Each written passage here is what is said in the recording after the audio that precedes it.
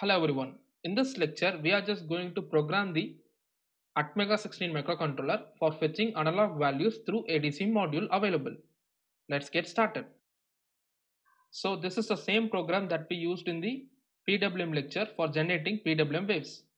And we just stored the duty cycle value of the PWM in the register OCR1A. So this register value can be of 10 bit that can be from 0 to 1023. Our ADC module is also of 10 bit so the value of the ADC module will be also varying from 0 to 1023. So what we are just going to do is we are going to connect a potentiometer or variable resistor to the analog pin of the microcontroller that is PA0 that we configured in the last lecture and we are going to connect a LED to the output compare pin channel A of timer 1. So this ADC module will give a value from 0 to 1023 once we are varying this potentiometer. That is if it is towards the positive side it will give a value of 1023 and if we move the knob to the other end towards the ground side and it will give 0 when the knob is towards the ground. We are just going to give the analog values that we fetch from this potentiometer to the duty cycle of this PWM module. So as I vary this knob of the potentiometer, the brightness of the LED will be varied.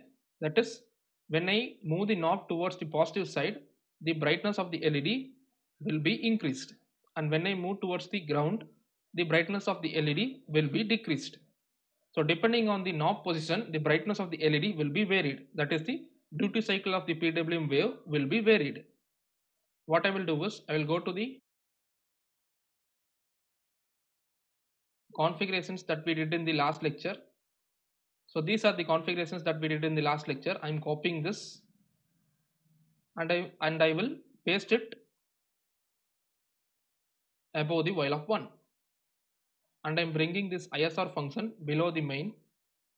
Inside this ISR function I am loading the ADC value that we fetch from the analog to digital converter to the output compare register value. So the value that we fetch from the ADC will be directly fed to the compare register. So the duty cycle of the PWM will be depending on the ADC value fetched. So as the program starts, the processor will execute all these lines and it will trigger the PWM and the ADC modules. And after that the processor comes over here and it will be held here as this is an infinite loop. And once analog to digital conversion is complete, the ADC module will interrupt the processor. So the processor pauses all the process that it was doing here and it will come here.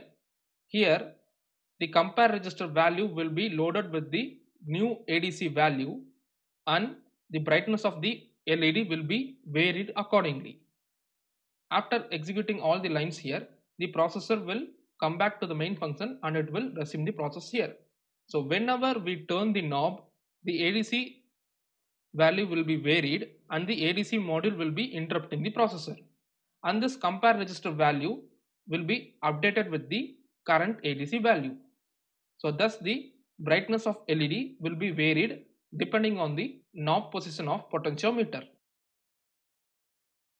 Now I am building the project using the icon here.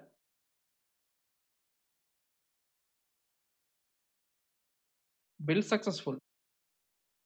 For uploading the program onto the microcontroller, firstly connect the USB ASP programmer to your PC through USB port. And then connect the JTAG connector from your USB ASP programmer to your development board.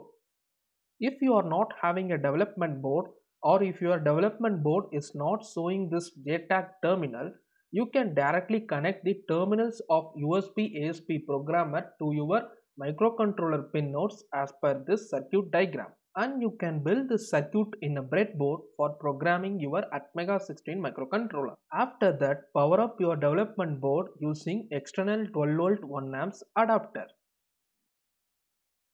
Once you have done this, open the program ISP software and choose the microcontroller required in, select chip drop down box.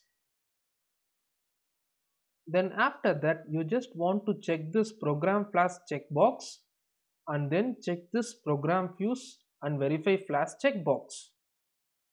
And then you just want to set the clock to external crystal oscillator in the fuse bits configuration. Go to the fuse and lock configuration bits tab and here set the clock selection 3, clock selection 2, clock selection 1 and clock selection 0 to be 1. These 4 bits must be 1 for selecting the external crystal oscillator.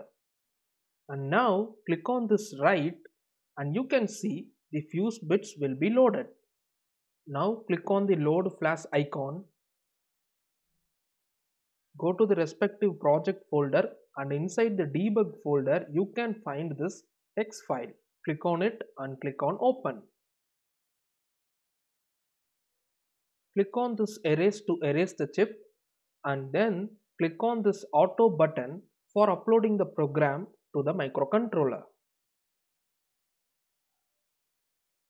And the programming is successfully done. Now build the circuit to see the output in the hardware. You can see this is the output that I got in my hardware.